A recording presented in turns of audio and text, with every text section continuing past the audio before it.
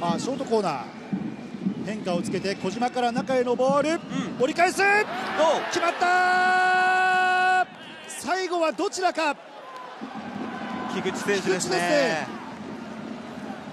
菊池のゴール決まりました。今シーズン初ゴール。